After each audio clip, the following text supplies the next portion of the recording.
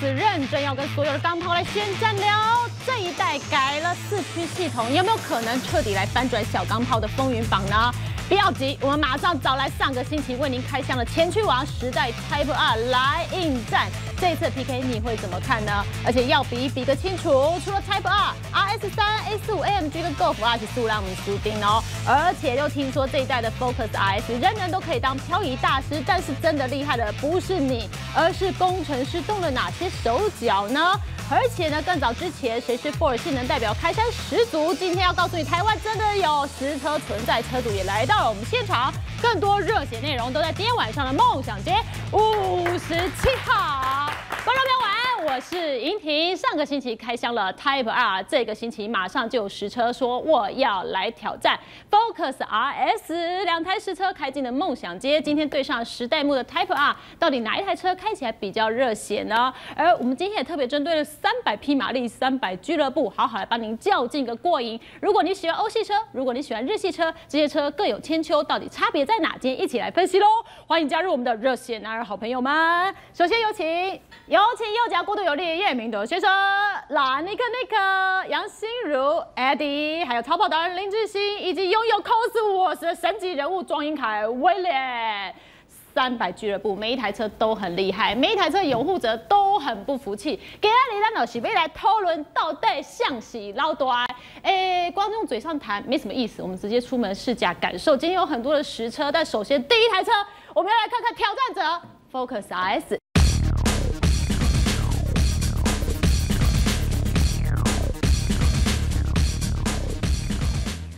车要扩大它的市场，它一定要做一些小巧思。就像今天开到梦想街这两台车，让我们欢迎所有 Focus 迷都会很爱也会膜拜的 Focus RS 这一台车呢。如果你家的阿妈呢想要烧胎，按一键就搞定；如果你的阿公想要甩尾，也给他按下去，有没有那么夸张啊？来，阿公，阿公出现了。南信阿公 你好，他有那么厉害吗？有这么好操作吗？呃，事实上 Focus 现在进化到了已经这个算是第三代的 RS 车型。嗯。哦，而且啊，刚刚你说阿公阿妈，因为它现在已经变五门了。哦。过去第二代跟第一代 RS 的时候啊，只有三门。对。好，所以说现在变五实用了，变成五代。虽然说它还是不是变成五门，虽然说它还是首排车款。哦。但是呢，今天像你刚刚讲的，它只要按一个按键，它是四轮驱动，但是它就可以让你甩啊甩啊甩，就可以甩尾轻轻松松。嗯。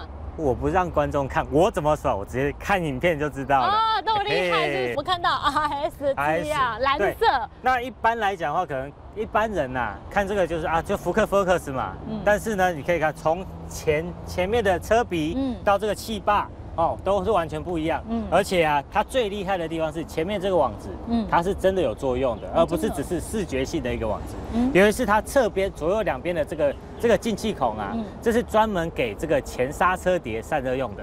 我觉得连天有帅，帅哈。嗯，那你猜它多大？多十八寸。十九。十九寸，打了十九哦，有哦，真的哦。对啊，这边有有写到这个二三五三五十九哦。我刚刚看瞄想说差不多十八寸，了不起，十八寸。十九哦，Focus 还是到十九哦。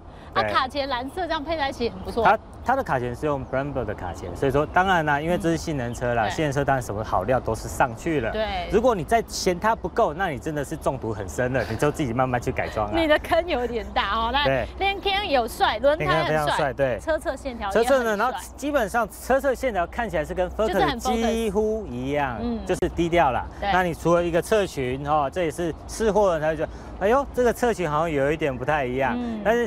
基本的侧边线条，你就是啊，家庭房车啊，这是这这个呢，其实还有一个好处啦。如果说你今天要买这辆车，你可以跟老婆说啊，这个没有，我只是买一个五门 Focus，它只是一个手排车而已。哦，我没花多少钱。那我去改装一个大尾翼，我就只有加一个尾翼。改装一个大尾翼，但是其他我都跟一般的 Focus 一样啊。哦，老婆就以为是 Focus 的价钱哦，不知道是 RS 哦。但这个尾翼呢是 RS 现在专属的一个尾翼。哎呦喂啊！有没有想到我要提到又是郑蛋蛋？你看你的车子跟你的车子一样哎，就是很实用度很高这样子。然后它这边还有一个特别的，就是它下面都有都是这种备胎补胎剂，对，它不再是放一个备胎，对，而且它帮你分隔分好了哈，不会叮叮咚咚、叮叮咚咚的，好，然后是平整的，很平整，然后这个可以全部把它往前摊平，所以如果你要在高尔夫球具，就这样子就可以了，哦，可以往前倾倒，是都很够的，是，对，而且最主要是它今天变成了五门的车管了，你今天后座要载人就直接上车，不用在那边瞧瞧后座啊，干嘛之类的，帅度跟正丹丹的车还是不太一样，不信你就看一看，对啊，但是现在后面它最大的特色，除了你看，你又看到这个。这个背景就够了。好，这个单哦，要又又又要开始啊，好好膜拜膜拜，好膜拜只会贴上去啊。对哈，但是这个最大不同，嗯，这个我就不相信它能改。哇，这么你看到这个排气管，嗯，哦好没有？排气管很大，两边左右两边，而且这真的这么大颗，嗯，而且还有这个很像 F1 哦。哦，对啊，然后最主要是这个 diffuser 啊，整个整整体性的是很漂亮的一个整体的模组化这样子，所以说你今天当。当你这个在路上遇到它的时候啊，你就觉得，哎，这好像有点性能，这绝对不是该装哎。对，它是绝对的性能，绝对的性能。尾管那么大一个，所以等下跑起来也会很咆哮。我们等下带大家出门感受喽。我刚一开始就说象棋捞多爱，结果我们在看影片的时候，叶明哲一直在下面一直躁动不安，一直说 R S 六 R S 六 R S 六，没有，它蓝色是 Post 大颜色，Post 大颜色，你给你起来闹哎呀！不是的，我是说那个水泥灰哦，我觉得 R S 六真的还蛮漂亮，而且它一样有 R S 嘛，啊，两个弹射那感觉就是，两个是不一样。我跟你讲，我说没有，我说如果 R S 六跟 Focus R S 一起弹射。那个感觉就差很多。呃，童叟无欺哦。好，等一下我们真的出门去感受一下，然后 Focus S 是不是真的那么厉害？一键启动真的可以那么厉害吗？但是等一下出门试驾感受之前，我们来看看今天我们要来尬一尬性能车的风云。但我们不是要鼓励赔钱，我们是在真的看它扎扎实实的性能爆发出来的感觉。所以等一下还要出去试时代木的 Type R。但 Eddie 哥，如果我讲要 Focus RS，我坦白讲啦，呃，因为我已经做过了，这台车不一样，它有很多的第一次。第一次四驱，第一次我们看到是五门掀背的 Focus RS，这种怎么变得很家庭的感觉了？呃，应该讲哈，我们从性能来看，这些呃表列都是非常惊人的一代之选啊，等于说是呃呃，福特用这一个作为一个它的性能钢炮的一个代表，有一点在宣示这个品牌的科技，所以我们看到这个二点三升 EcoBoost 的引擎，这也是它广为运运用的这个性能版引擎啊，Mustang 也有装这颗引擎，但马力调到三百五。然后扭力有四十八公斤米，再来是厉害的是全时四轮驱动，因为它已经过了所谓三百匹的马力，所以配配置四轮驱动，我觉得是比较合理的。然后零到一百的数字也漂亮，是四点七秒。呃，极速这个还好，这 launch control 跟这个所谓的 drift 甩尾模式，我觉得是这个车好玩的地方。为什么我们说这个车好玩呢？就是说车子一般大家都觉得是一个交通工具，对。如果说它有乐趣，就是看你怎么样玩它。嗯。那所以车厂在配置这种东西有点像是玩具，就跟我们去 M Power 店的时候，B N W 讲说，它的其实它的 M Power 或者它的 M 三或者 M 四都是一个玩具，它有所谓的这个 Performance 模式，喜欢性能的人可以开着它，可能做甩尾，可能做这个呃弹射起跑。对，那这都是车子所赋予的一个特殊性能功能，再来把这个乐趣带给驾驶者，所以让这个车的面貌很丰富。嗯。那我们另外再讲说这个车的五门，我们注意到这个车其实跟一般的 Focus 差异外观差异没有很大，嗯，所以呃，所以这个五门的这个定位，我觉得另外一个观察点就是说，像我们以前这个 Golf 呃啊五代刚进来台湾的时候，GTI 在台湾有卖这个三门版跟五门版，对，那很妙的是这个五门版呃畅销，三门版滞销，真的比如说呃呃呃，可能可能二零零三年的这个例如啦，它它的当年份卖不完，它卖到隔年份去，对。那这是引发了一个就是购买上面的问题的疑问，就是说，呃，到底为什么我们比较方便？当然，它两个门它可以放东西。第二个是说，可能买 GTI 给这个所谓呃家里小孩子用车的父母会觉得说，如果你只有两个门，那我上车不是要爬后面？哦，那这样子就便利性大减。这样子就你购车时老婆的阻力会大增。对，或者是说老婆绝对不让你买单。对，然后小孩子你也这样放后面，那也要抱爬着抱进去，爬着抱出来。哦所以这个如果有呃小婴儿座椅，其实后座有。呃，单独的门是比较方便的，所以我们也看到这个趋势，就是像 Focus 有五门，那 Type R 时代 Type R 是四门。哎，对，我们上礼拜开箱，它变四门的，对不对？变更符合家庭用车，所以就兼顾实用性。符合家庭用车，它会不会热血度也给你荡很多啊？会不会？呃，不会。我们看这个马力数据嘛，跟它所表现的这一个这个所谓的甩尾模式，或者是呃所谓弹射模式，三百五十匹，对，这都是呃兼顾，就是你在家人的时候可以选模式缓和缓的开车，但你自己玩的时候，它可以变成一个就会钢炮级的。的的车子这样子。对，因为他在过弯的时候，我确实感觉到兰尼克对我左勾拳右勾拳，我就这样子这样子一直被扒。好，等一下我们就出去感受。但是我坦白讲哈，为了推出这个 Focus S，因为是性能，然后又是第一次的四驱，其实这一次好像是花两三年在美国去做研发，对不对？甚至那 Ken Block 还把它改成那个拉出洞，哎，对不对？对对对对对，应该这样这样说了哈，就是。呃，Focus RS 车系它从二零零二年开始嘛，就是第一代的 Focus。然后那时候在之前，它当然是延续 Sierra 的 RS Cosworth，然后再来是这个 Escort 的 Cosworth。然后那时候呢，他们都是四驱的啊，Sierra 是。前置引擎后轮驱动，但它有四驱版。嗯，然后那个 Escort 它就是四驱。对。然后换到了呃 Focus 的 RS，我们觉得应该是要承袭过去。哎，结果反而为什么换成了前驱？对。那那时候我最早去英国试驾的时候，我有跟原厂在闲聊，他有说到，他说因为呢四轮驱动它多了一些呃四驱系统会比较重，那他们希望能够轻量化。但是我那时候在开呃第一代的呃 Focus 的。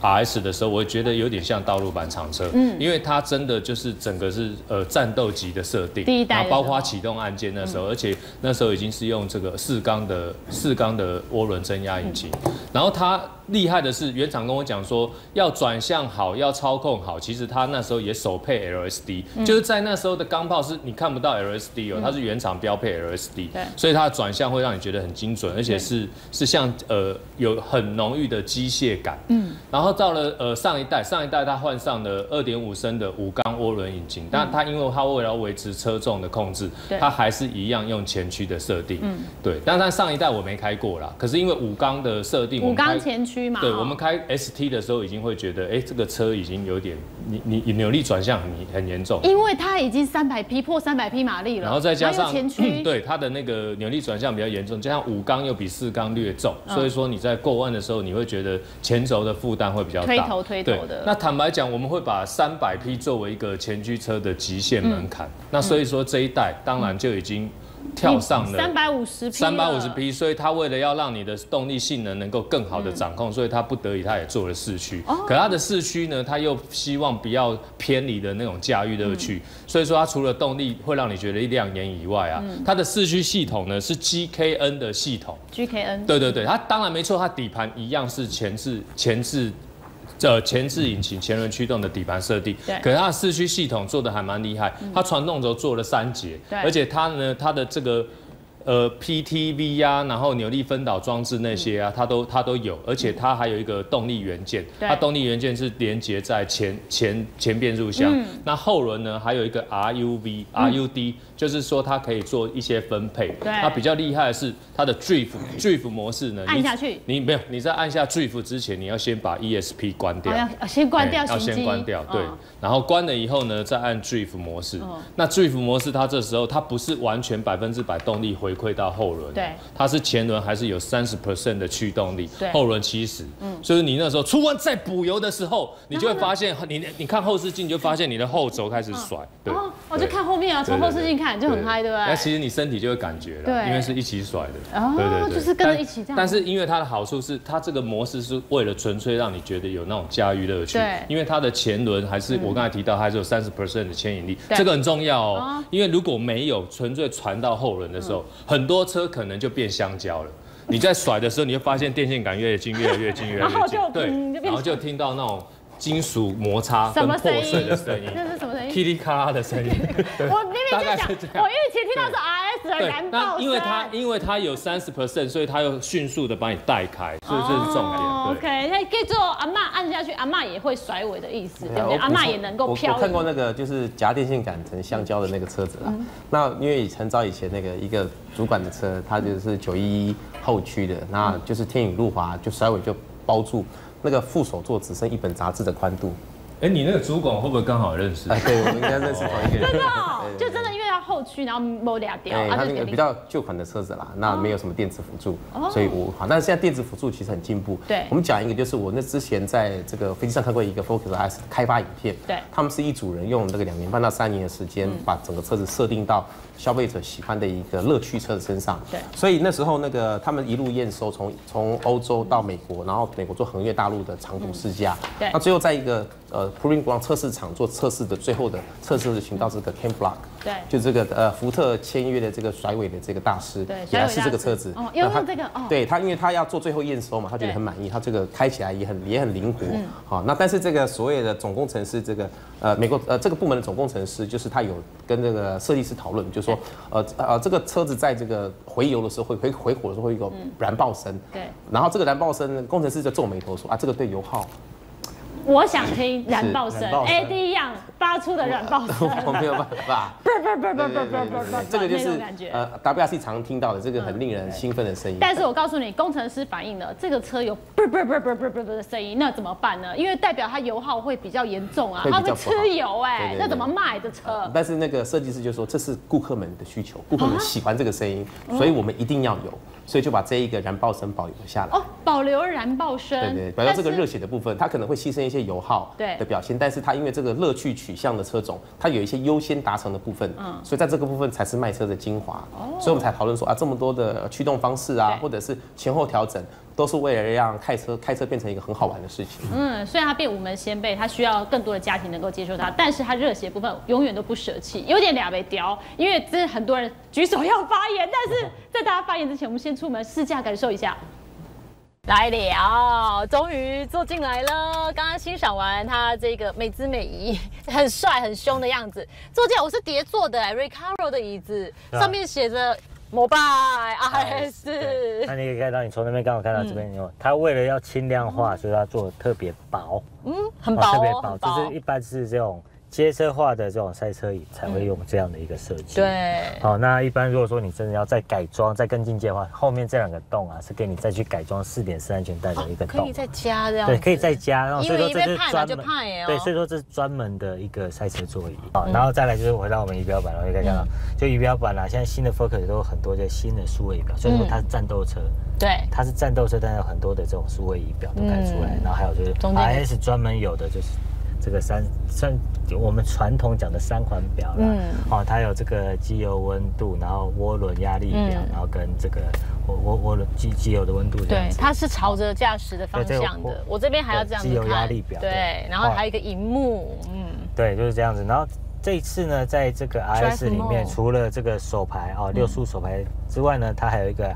阿妈阿公只要按了一下，它也可以去甩尾的模式。就是阿妈阿公什么都不用学，只要学会按这个钮。对，那你可以看到这个这个模这个这个仪表板上面呢，有我们刚才开的这个所谓的 normal 模式，嗯，然后再是 sport 模式，然后再是 track 模式，而且它是会警示告诉你哦。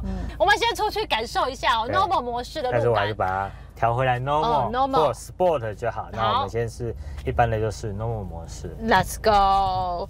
Normal 模式，其实我们刚刚小小感受一下，已经跟过去的 Focus 一点不刚啊。尽管是 Normal 模式，一个是就派也 Focus 啊。对啊，因为他这次呢是上一代是用二点五升的引擎，那这次呢是配合它整个全球的策略，采用这个二点三的 Eco Boost。嗯，那你你应该很熟悉，就是之前我们试过的福特野马。对，哦，就是同一颗引擎。嗯，好，所以说它。二点三 EcoBoost 它这颗引擎可以炸到三百五十匹马力，哦，这三百五十三百五十匹马力，对，它零到一百大概四点七秒就可以解决掉。我们不是约好说轻吹油门吗？那个声音怎么那么咆哮啊？它是轻吹油门吗？我我我我还没踩油门，真的假的？我还没有踩很深，是真的。它声音是真的偏咆哮哎。对，那因为它的这个刚才我们在外观有看到它的尾管啊，这么大颗。但是它的路感，我觉得是挺清晰的哦。对，挺清晰，因为毕竟它是一个性能车款为优先的车子。虽然说它看起来，你就算内装哦，除了一些细节之外，其他部分看起来也是很 focus。但是你如果要等下在 normal 模式加速哦，它马上就可以发挥它的一个性能。各位观众，金马型 normal 模式，你刚刚看它加速的那感觉很不错，微八头，有点八，有点八。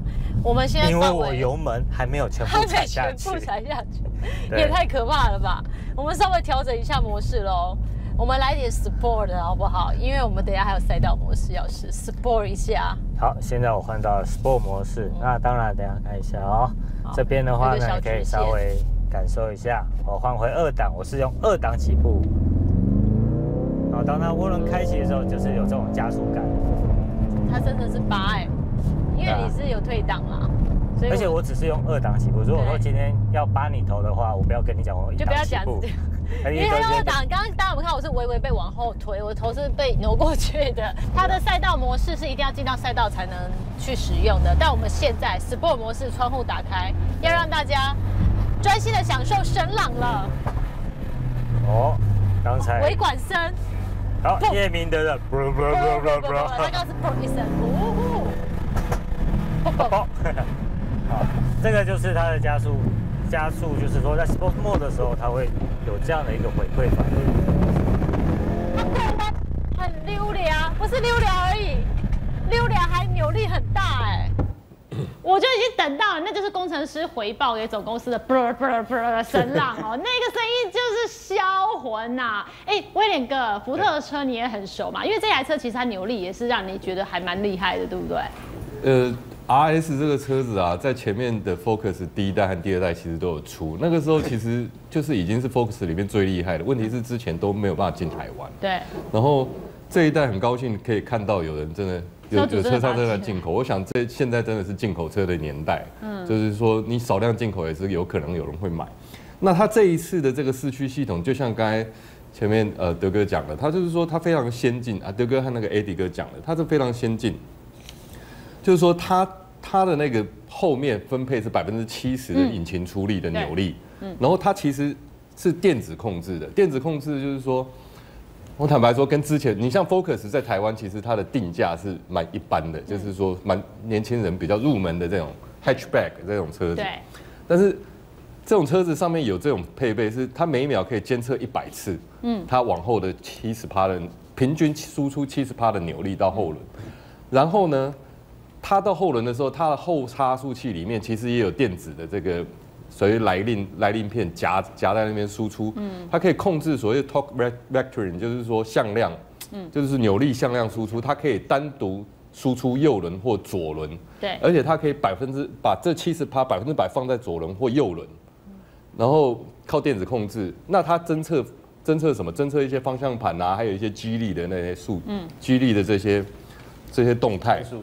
其实呢，这就是它为什么可以有 drift mode 的主要原因。因为你如果在甩尾的时候，你激励是往这一边，那它如果输出输出可以输出的力量可以在右后轮的话，它可以把它偏到右。一般车是没办法办到，所以它这有电子配备。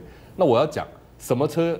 就是我过去我们在我自己在节目上比较有聊到的，或者是我有买过的。其实就是 Porsche 凯宴的 GTS，而且你要选，你拿跟凯宴 GTS 比，你要选到满哦，你底盘要选 PTV 才有这个系统。嗯，所以它这个车子有这个系统，我其实也是来上节目前研究了一下，我发现哦，这个真的是蛮厉害。对，哎，林志，现在你怎么看呢？Focus S，我觉得这台车其实是老美在玩的车啊，那但的确以它目前最近二零一八年是啊，它又推出了这个。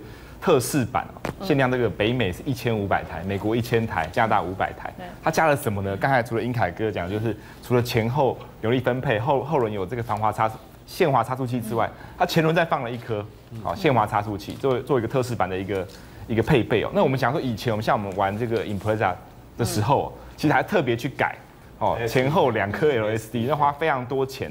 那现在变成特仕版，它就帮你把前后这两颗都已经配备好了。加上一些内装的一些大幅的升级所以其实以这台车来说，我觉得如果今天不跑纽柏林哦，其实蛮浪费，因为你的整个的配备已经有到了。那再来是它整个以前的 Rally 的技术其实有放进来，所以其实以现行来说，还唯一存活的 Rally Car 其实不多了，应该是好好爱护在 Focus RS。嗯，其实啊，福特在这一系列的车子里面，其实不止 Focus。那个 Pickup 有一台超级帅的 F 一五零的 Raptor，嗯，还有这个福特，就是刚刚尼克提到的这个 Mustang，嗯，其实他们其实在现在的行销整个环节里面，其实很好玩哦。一般你看我们讲 Porsche 好了，你可以选配，你可以在凯宴上选到 PTV，你可以在 Boxster 上选到，你可以在九一一上选到，嗯，可是呢，我们刚才讲那特殊的模式，Focus 有 Drift Mode。然后 Mustang 大家如果有印象，它有 Line Lock，它就是可以让你锁住前轮，后轮空转冒打到冒烟都还是，嗯，对不对？那个 Line Lock 就是美国美国在原地烧胎啦，李一峰先带我去玩过，那烟在冒 Drag Race 前的那个准备动作。Raptor 有一个叫做巴哈 Mode，它那个巴哈 Mode B A J A 啊，它那个巴哈 Mode 啊，它是可以在那种 Gravel，就是说呃尘土的路上啊，你可以开到我看它那个 YouTube 上面影片，它你可以那种 pickup，它可以让一般人也有也有能力可以开到时速可能一百六、一百七，简直就是在比越野赛的速度了。那我们平常一般人不敢开，那他做了很多事情，他其实就靠电子控制。嗯，比如说这个 pickup 的巴哈莫，它就是一直在控制你的后轮。嗯，它帮你刹一下车，你车子就可能不会突然打滑。对，内侧就是打滑内侧轮，反正那个都是所谓的防滑循迹的控制的系统之一。嗯，那我们来讲福特的 Focus 这一个啊，刚刚。资金讲到的那个说，呃，他配了那个前面的 LSD，坦白说，嗯，这蛮够意思的啦，就是对性能迷来说，这蛮够意思，因为他配的还是很名牌的，叫快福的，快福叫快福的，很就是说你比赛的人，你大部分也都改这个牌子了，哦，赛车级的，呃，意思来讲你备料你能够改啊，对，像那个很经典的九六四 RS 啊，原厂后轮它是后驱的，原厂的后轴后后差速器。也有配 LSD，可是它配一个百分之二十的 LSD，就是说它限滑的比例是百分之二十的 LSD，其实蛮不够意思的。对啊，我们坦白讲，你这要去比赛，你还是要再把它改大。嗯，可是 Focus 这次就蛮有意，蛮够意思的。而且它其实福特其实其实很会行销啦。其实它这个特仕版啊，在上市之前，它也是在 YouTube 上做行销。它请的就是请了 Ken Block，还有 Ken Block 的那一群班底。对。然后就是工程师请他们来哦，就是。我听说他把它改成人家秋董了，就是变成有一个手刹了。秋董是最新的新闻，他十二月一号才开始卖。哦，是哦，然后改了之后，他就开始甩漂移，这样给大家看这样。但是其实很好玩，以前我们的秋董啊，其实是拉它底下里面其实是钢索，对，去拉后轮的刹车。嗯。但现在的现在的 park brake 不秋董，这其实已经几乎不能秋懂了，它是电子，它是手指手指的在，就一个开关而已嘛。OK。那电子的，嗯，那其实。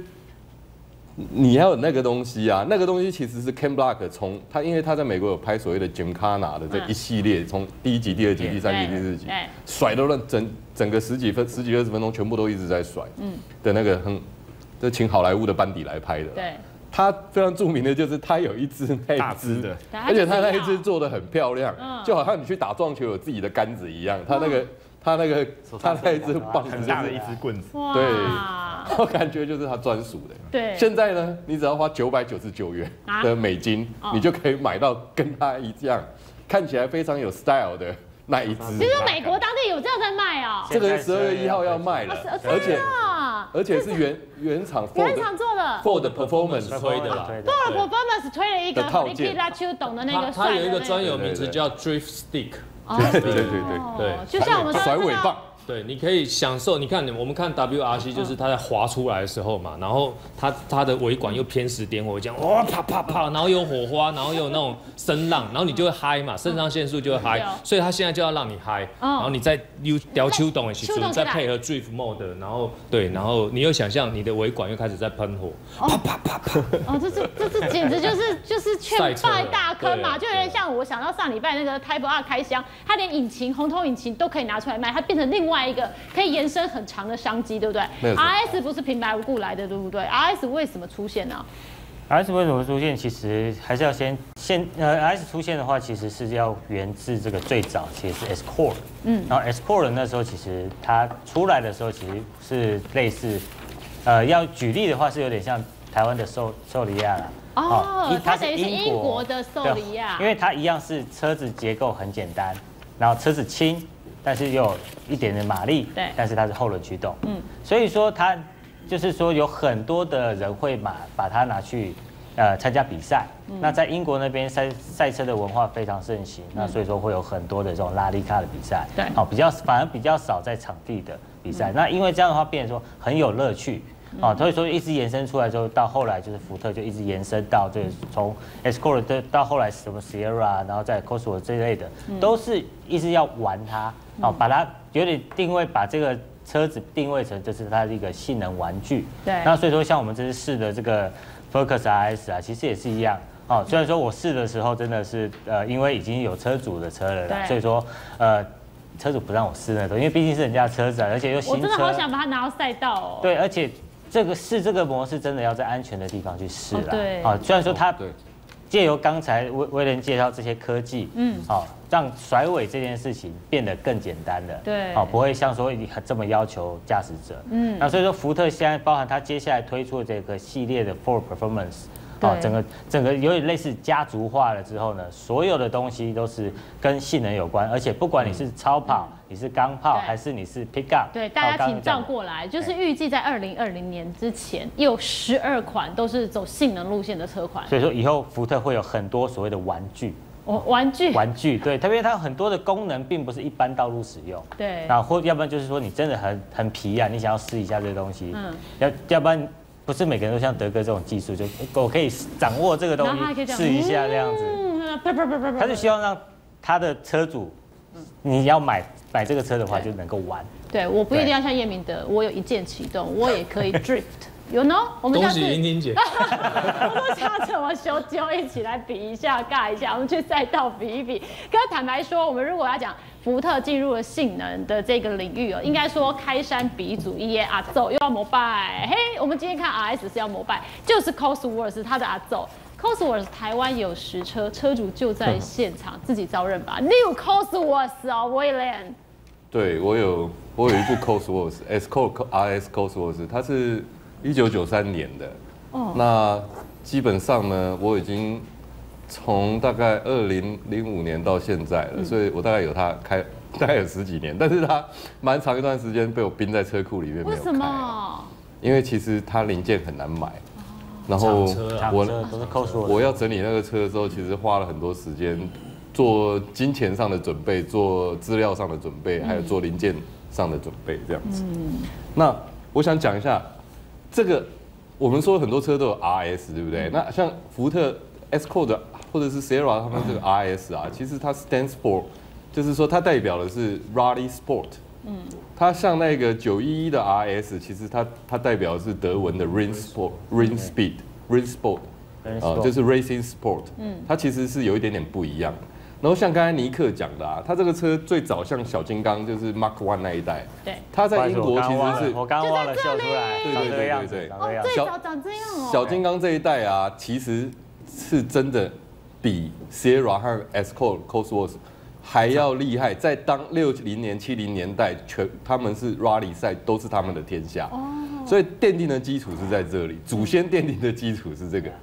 哦，而且但是不好意思，对，还有一个，其实这辆车 Escort 刚刚我忘了讲，其实大家都看过了。哦，你不要这样拿出来，大家就很熟悉了。大家都看过这辆车，相关的他的收藏啊，电影用车就有一台了嘛。对啊，就是他他收藏，就是那时候他过世的时候，他就有这样的一个海报，然后他就是跟电影车这样有有一个剧照啦。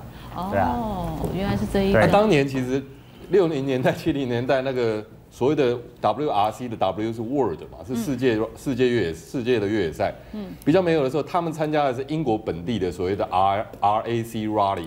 嗯嗯，这个 R A C 的 Rally 其实是在英国本地比的。那这个这个游这个其实都还有出过电动玩具的游戏 R A C Rally，其实大家都可以，大家都可能有的人，呃，曾经过去游戏机可能有买过，都有玩过了。对。那我说他到了，他其实在这个小金刚的年代，他的引擎其实就已经有跟 Cosworth 合作。嗯。他但是他正式把它用在车名里面，授权使用在车名里面，确实是到呃九。八八零末九零年代这个时候的 Sierra 和 Esco 这个时候，下一个挑战者他来了，他是最近台湾热度极高的时代木的 Type R，我们出门试驾感受啦。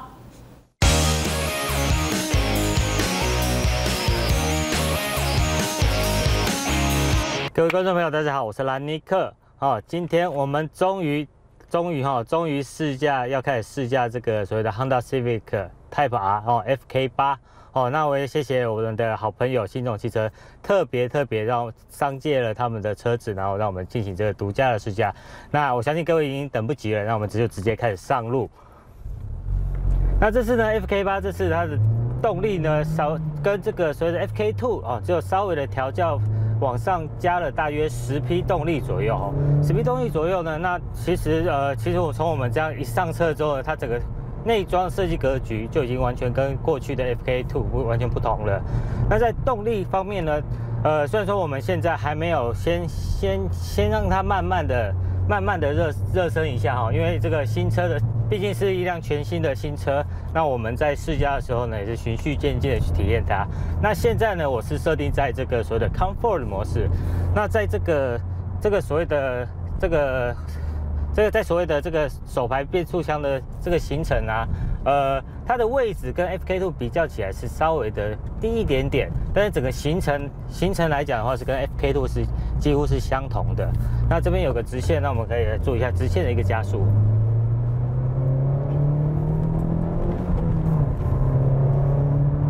哦，那现在呢，这个是所谓的 Comfort 模式。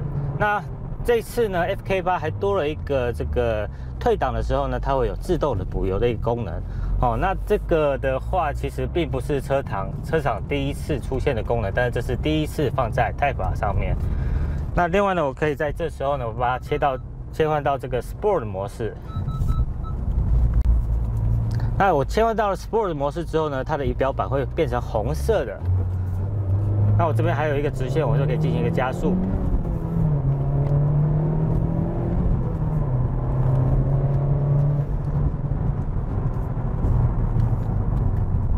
我可以很明显的感受到呢，这个直线的加速的力量方面，最主要在这个排气管的这个听觉上面有很明显的不同。那最后呢，待待会我还有一个直线的部分呢，我把它切到这个 R Plus。那当然，这个部分其实大部分是建议在这个赛道里面使用。那 R Plus 呢，它它很明显的才切过去之后，它声这个排气声量又已经做了一个全新的一个改变。那仪表板一样是所谓的红色的红色的这个显示哈。那这个一般都是这种呃比较 sporty 的设定导向，会让这个驾驶者这个氛围完全的不同。那前面有一些弯道，还可以感觉到这个 R Plus 呢，这个。R Plus 模式的时候，它的操控性呢就很明显的跟这个 Comfort 模式不同。但是现在这些拜这些科技所赐啊，那涡轮它的涡轮介入已经可以调得非常的平顺。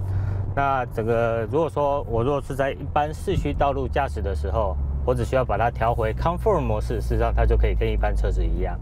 那其他详细的性能规格，那我们摄影棚再来讨论。哎，谢谢尼克，好羡慕哦！因为那天是你下海关，然后我开箱完以后，你就接着就把车子带去带去试了，对不对？这辆车因为就真的是才刚到台湾，然后我第一时间就赶去试了。那因为车子什么 running 都还没做，然后也还因为也等着要去做测试，那所以说也是大概浅尝一下。那当然它的性能资源有非常强大，但是我们必须完全要把它封印起来哦，要不然这个车人家呃好不容易借我们拍了之后，那我就。大脚有没有给他下去？哦，这个不是我跟你讲，乐童一定要抗议。乐童那天握着那个金属牌他好想开开看。所以，所以我只能炫耀一下。那个什么温室管效应，那几个排气管那么漂亮的三个排气管，温室管效应那天我们只能皮。对，因为它有好几个好几个模式嘛，那我给他试了一下。那温室管效应，它因为它这个排气管是三根三根三根我三根排气管啊，而不是说两根或一根。对。哦，所以说因为文氏管效应，它技术上面说它是有很特别的一个。结果就是很特别一个音频会出现，那所以说我在试的时候呢，在这个 Plus R 模式的时候呢，很明显就会感受到，我只要切下去的时候，我只要开始加速哦，转速不用太高，就可以有那种很特别的那种音频，因为真的很难形容，因为也不是像过去的传统那种泰法是那种这样子，但是它那个就是让你好听的，但是你只要。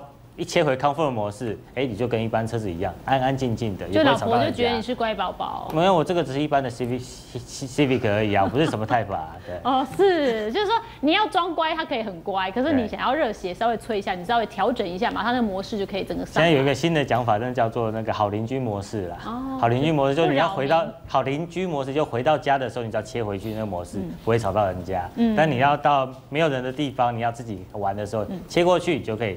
感受不一样的对，好，我们现阶段已经 Focus RS 还有 Type R 时代目已经试过了，到现阶段现在 PK 者是两个，你的感觉呢？这两个差异有很大吗？哦，真的很难选呢，嗯，因为真的因为呃 Civic 时代是最新的东西，对，很多东西还没有机，因为这是。体验一下而已。对。那 Focus RS 有这么多电子系统，这么强大，但是台湾真的一般道路上还没有机会去试啦。嗯那如果说真的是有机会到赛道里面试这两款车的话，那个感觉是完全不一样。对对，等一下我们就完整的来做，看国外已经有做极品了，但是下一个竞争对手，如果你真的是热血控，三百匹以上马力你一定要的话，那其实总代理有进的，我看接下来大概就 Golf R 这个选项了，对不对？呃，是的，Golf R 如果跟另外两台这个对手比较呢？它可能没有感觉上没那么热血，嗯，因为它是配这个双离合器自排变速箱，嗯，但它其实它的加速表现零到一百是四点七秒，比 Focus S 要快零点一秒。哦哟，然后是自排的，然后它的价钱，它的价钱也大概在一百九十万以内，一百八十六万左右。嗯，它是里面价钱比较低的，因为总总代理做装嘛，对，所以这个价钱比较优惠。再来是它采用这个所谓的 Golf R R 系列呢，其实是 Golf 应该是一个顶尖产品，配四轮驱动。我个人觉得这个有点背离了这个 Golf 前驱车的这一个标准。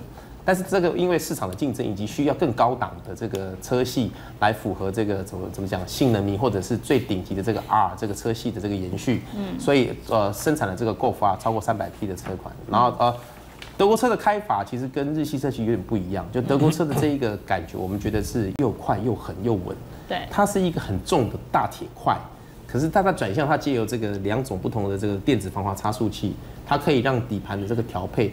变得很灵敏，变成你只要掌握油门方向盘就可以，呃，在呃我连续弯路上很方便的开快车，很很容易的开快。对，所以这有一点这个讲怎么讲，容 easy fast 容易快啦，这是它的一个，我觉得是你用双双离合器的这个快感。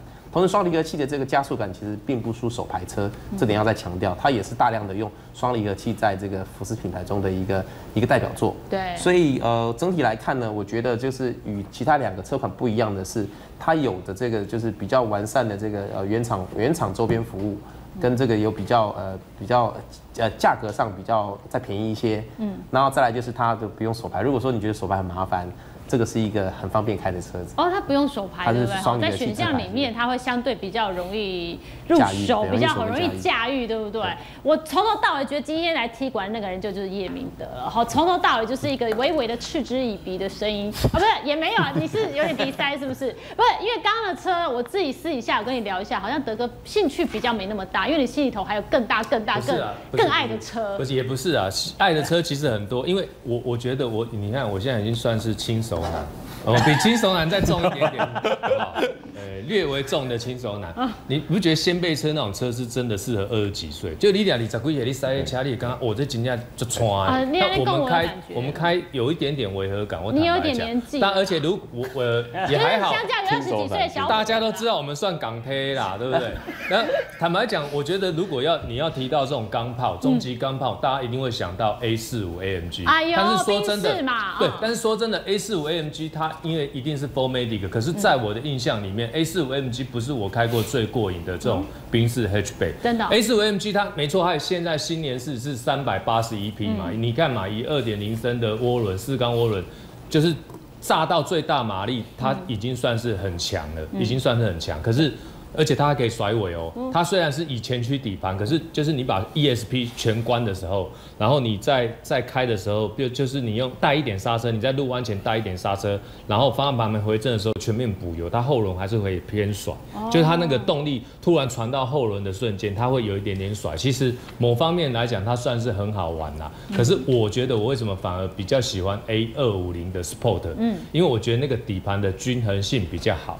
就是以这样的底盘来配置。它虽然是四轮驱动，可是我觉得它动力有点太癫狂。嗯，那个癫狂是说，有时候你在跑山路的时候，它在出弯的时候太猛爆，但是，呃，你你可能在有一些连续弯道的时候，你希望它能够维持那样子线性的输出，它又有点累梗，所以说。呃，在掌控它的特性上，我并没有那么喜欢。嗯，再加上它的呃四驱系统虽然是可以甩尾，可是那毕竟是要在 ESP 完全关闭的情况下，就是一般状态下，你其实在开的时候，尤其下雨天你在开的时候，你觉得其实它跟二驱差不多。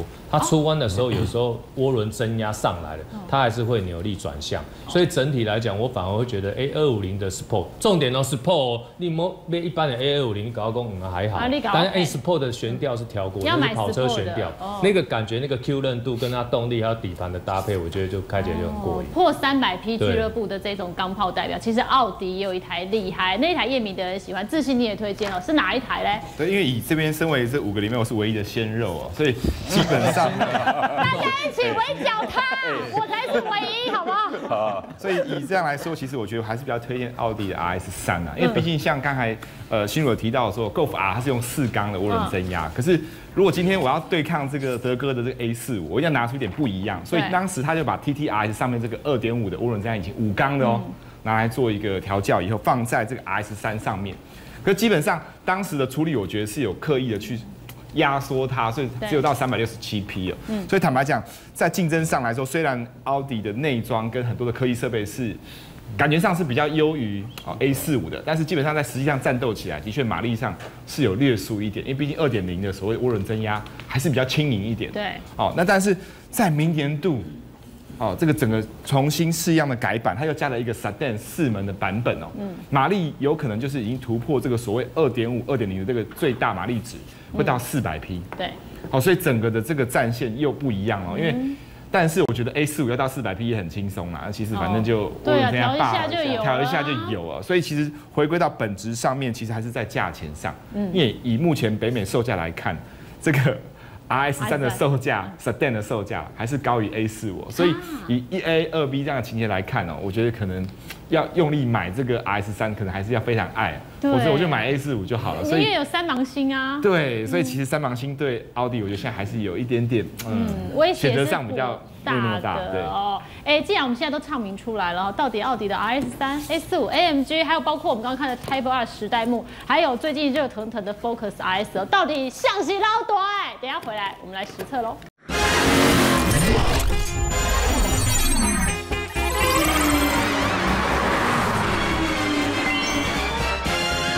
超过三百匹马力的钢炮王到底是谁？小鲜肉，看看你的观点对不对？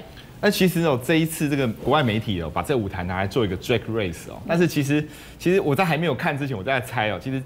结果其实并不意外。你本来是猜谁？我本来可能会觉得是 A 四五。A 四五，OK。对，可是呢，结果呢，还是一样马力最大的赢哦。其实后来第一名是 i 三，哦，因为还有四百匹马力。是。然后第二名呢是 A 四五，嗯，是三百八十一匹的。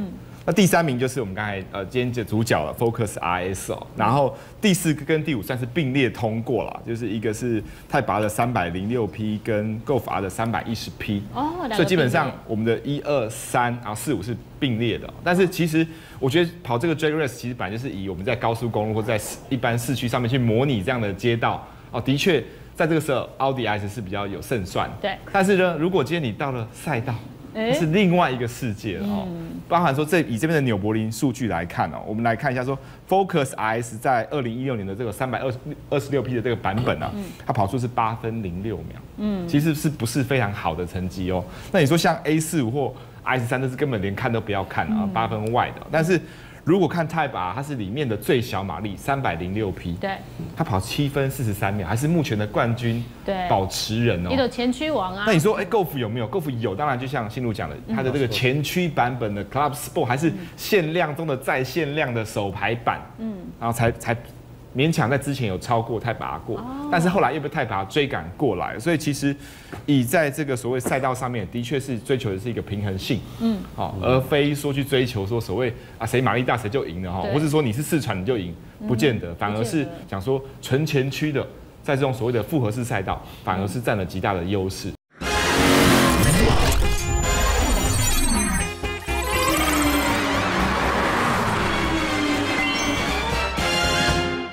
以在这个所谓赛道上面，的确是追求的是一个平衡性，嗯，好，而非说去追求说所谓啊谁马力大谁就赢了哈，或是说你是四传你就赢，不见得，反而是讲说纯前驱的，在这种所谓的复合式赛道，反而是占了极大的优势。对，这要问车主啦，哈，威廉，如果这几台让你挑啦，哈，你觉得谁有胜算？如果你要买哪一台好了？我当然还是买 Focus RS 啦。真的，始终 Focus 为什么吗？其实其实是到我们到到我们现在看德哥这种年纪有没有？我们是开，他是 他是要开三，他是要开三芒星的，要开身份地位。那我是觉得这种 hatchback 其实我们重点就是对，知心讲的对，就是乐趣，一定要有乐趣。那 Focus RS 是里面嗯，应该算是刚才那几台里面唯一持续输出到后轴有百分之七十扭力的车。是，它的四驱架构跟人家还是不一样，它主要是所以。扭后面扭力偏大的车一定会比较容易甩尾。对，你在吹油的时候一定比较容易甩，所以它会比较有乐趣，会有失控的乐趣。对，哎，小鲜肉啦，我觉得只有兰尼克是小鲜肉，因为他跟我同年，只能 他只能是唯一小鲜肉在。